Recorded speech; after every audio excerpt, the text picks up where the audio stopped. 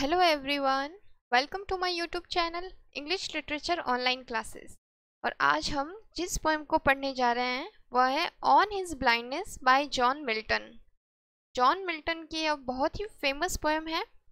यह एक सोनेट है, जो कि पेट्रार्कन स्टाइल में लिखा गया है।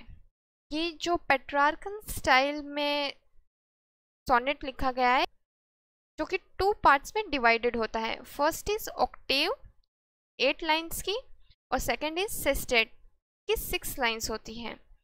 तो ऑक्टेव वाले पार्ट के अंदर पोइट अपनी प्रॉब्लम्स बताते हैं और सेस्टेट में वो अपनी प्रॉब्लम्स का सल्यूशन देते हैं।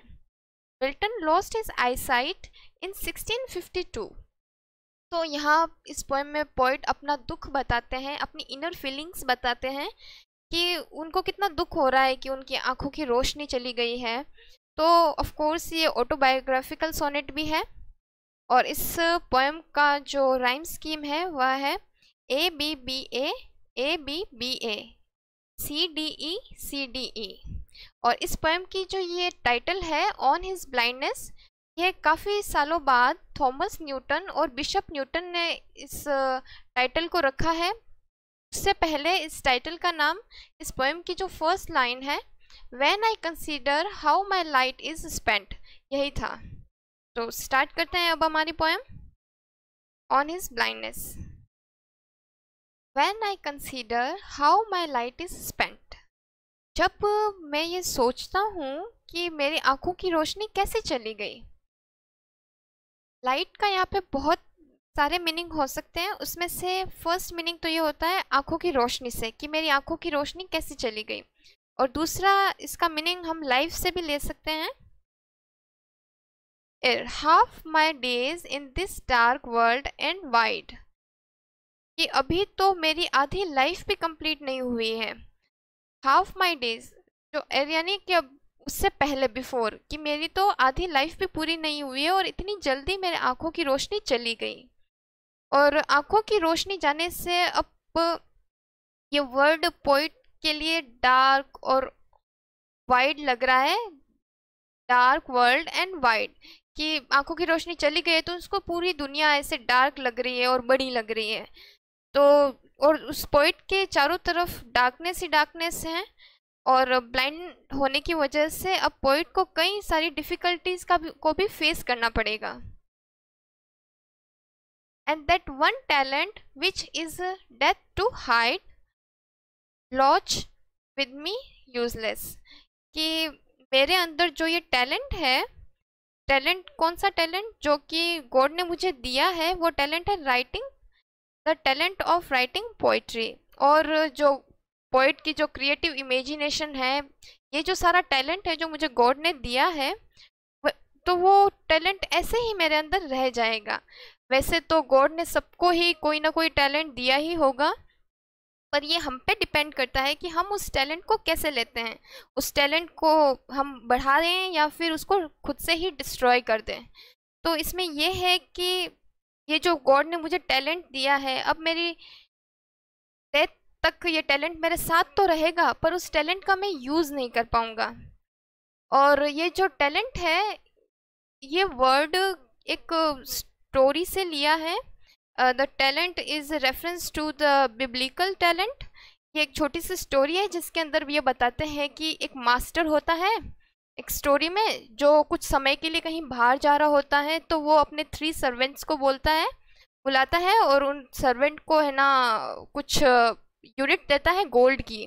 तो टैलेंट यहाँ पर एक गोल्ड या सिल्वर की कोई यूनिट है, जिसमें फ़र्स्ट अपने सर्वेंट को फाइव यूनिट देता है फाइव टैलेंट और अपने सेकंड सर्वेंट को वो टू टैलेंट देता है और फ़र्स्ट सर्वेंट को वो एक टैलेंट देता है। और इन टैलेंट का, वो उनको बोलता है कि इन टैलेंट का ध्यान रखना। और जब वो मास्टर बहुत सालों बाद में वापस आते हैं तो वो उन, अपने तीनों सर्वेंट को बुलाते हैं और उनको पूछते हैं कि आपने उस टैलेंट का कैसे यूज़ किया होगा। जब फ़र्स्ट सर्वेंट से पूछते हैं कि आपने अपने टैलेंट का कैसे यूज़ किया? तो फ़र्स्ट और सेकंड दोनों सर्वेंट अपने उस टैलेंट को डबल कर देते हैं, अपनी मेहनत से उसे डबल कर देते हैं। लेकिन जो थर्ड सर्वेंट होता है, वो उस टैलेंट को ज़मीन में कहीं गाड़ देता है, कि उसको सेफ़ रखने के लिए। लेकिन वो उसका यूज़ नहीं करता है तो वो मास्टर अपने सर्वेंट पे इतना गुस्सा होता है कि उसको अपनी सर्विस से निकाल देता है और जो बाकी दो सर्वेंट होते हैं, उनको रिवार्ड देता है। तो ये एक छोटी सी स्टोरी है। तो ये वहीं से लिया गया है टैलेंट वर्ड तो my soul more bent to serve therewith my maker maker यहाँ पे गॉड है। तो ये जो लाइन है, जिसके अंदर पोइट ये बताना चाहते हैं कि वो गॉड को सर्व करना चाहते हैं अपना टैलेंट यूज़ करके।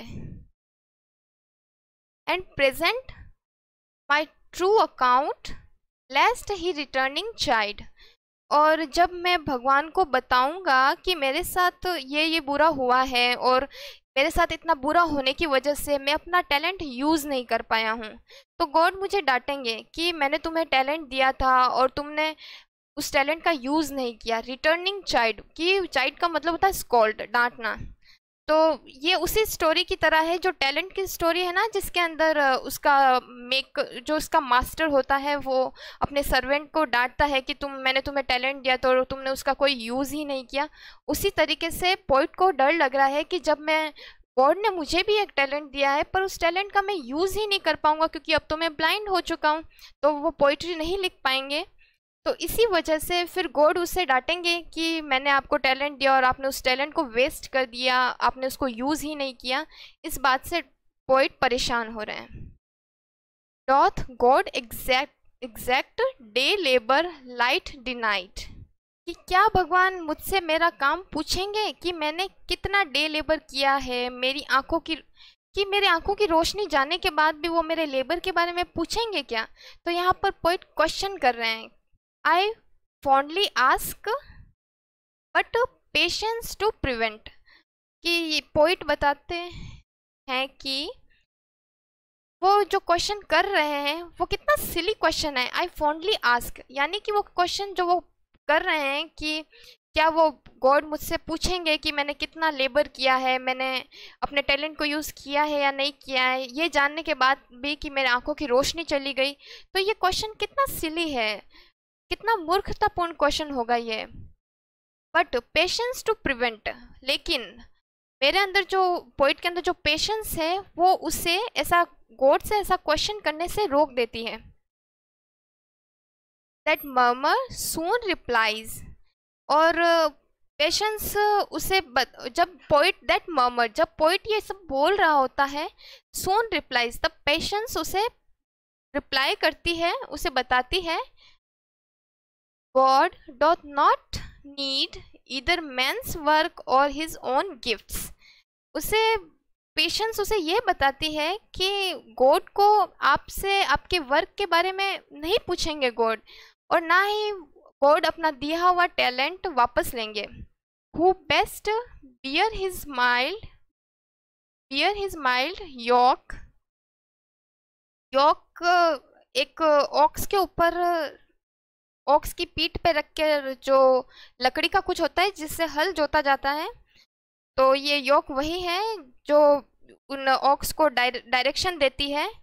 जो टैलेंट गॉड ने तुम्हें दिया है, उसका यूज़ तो अच्छी, उसका यूज़ करना चाहिए। तो ये तो अच्छी बात है कि अगर तुम गॉड के दिए हुए टैलेंट को यूज़ करते हो, अब लेकिन अगर उसके दिए हुए टैलेंट को तुम यूज़ नहीं भी करते हो, तब भी गॉड तुम्हें कुछ नहीं कहेंगे।